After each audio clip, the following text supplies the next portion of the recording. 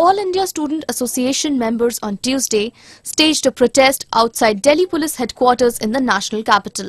The AISA is protesting against the police for allegedly beating up students, a video of which went viral over the internet. The students who were beaten up for protesting outside the RSS headquarters in Jhandewalan over Dalit research scholar Rohith Vemula's suicide. Correspondent Mohsim from New Delhi for ANI.